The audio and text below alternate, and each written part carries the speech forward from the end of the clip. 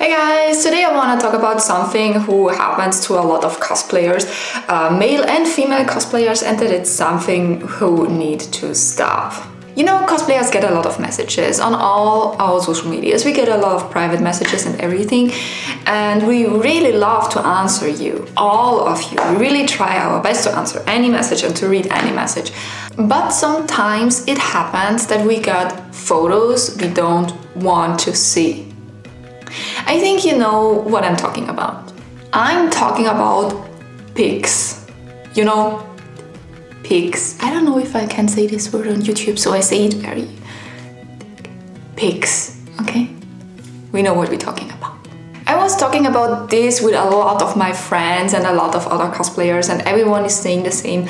Why you have to do something like that? I mean, if you think your penis is so, so pretty that you need to show it to the world, why you send it to me? You can post it on your social media, I don't need to see that. Sometimes cosplayers changing dick pics and talk about it, of course. So if you don't want that your penis goes around the internet with your name on it, because when you send me a dick pic, I make a screenshot with your Facebook name or your Instagram name, Twitter name, whatever, and it is out on the internet and you really want that it happens to you. Back to topic, yeah, we talk about it sometimes, and it happens sometimes that my friends and I got the same picture, and it's very funny. Guys, you could make a new picture for other person, right? Hmm? It's not that hard, you understand? It's not that hard.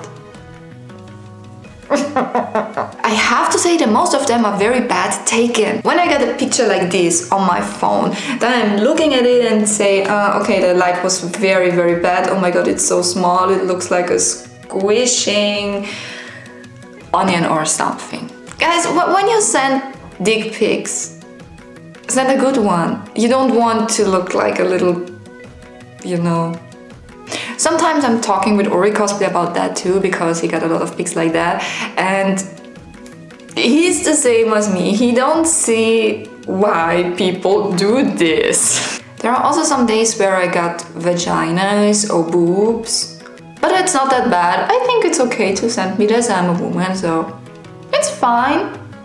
And there is another thing. There are a lot of cosplayers who are very young and you really think you have to put them your thing in the face? What is your problem? And I have a very good story for you where I can show you how stupid people like that can be. I was at La Mole Comic Con last year and I always going around making little videos, making pictures with other people and there was this little family, a wife, her husband and a baby and the baby was dressed up as a little Son Goku and was so cute and he wanted to take a picture with him. And the father said yeah it's no problem and his wife take a picture of all of us together and yeah yeah and the father sent me uh, the picture of all of us together on Instagram a little bit later. I was very happy about it. Then one month later or something the father sent me a dick pic on Instagram my brain was like, why you do that? Why? He have a beautiful wife. He have a very cute baby. It seems like he have a good life. So why you have to send a picture of your to someone you don't know? And I was really angry about that. Not because he sent it to me, because he was very disrespecting her wife because I don't think that his wife would think it is good to do that. So I was thinking about public have to see this. So I made a screenshot of the photo of all of us together, put it in my Instagram story, right in my Instagram story that this guy on this picture was sending me a mm-hmm, and that I know he have a wife and a baby and I don't think that is okay and that is very disrespectful. And if someone knows him please tell his wife what he's doing and that is not okay. One hour later his account was deleted. And I have to say I think it's good this way.